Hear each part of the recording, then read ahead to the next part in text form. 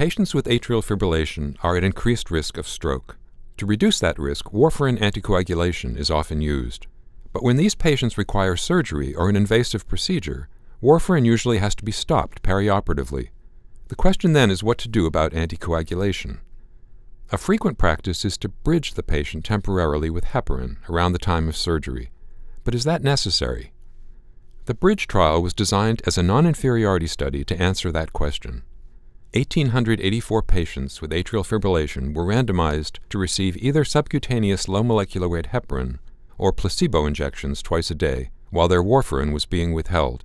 The warfarin was stopped five days before surgery and restarted within 24 hours after surgery. The primary outcomes were arterial thromboembolism and major bleeding. The incidence of arterial thromboembolism was 0.3% in the low molecular weight heparin group and 0.4% in the placebo group.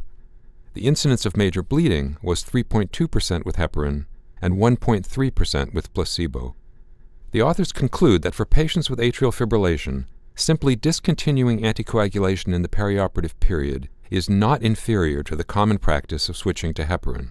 The decision to fully interrupt anticoagulation perioperatively may prevent major bleeding during surgery and invasive procedures, and this approach does not appear to increase the risk of stroke.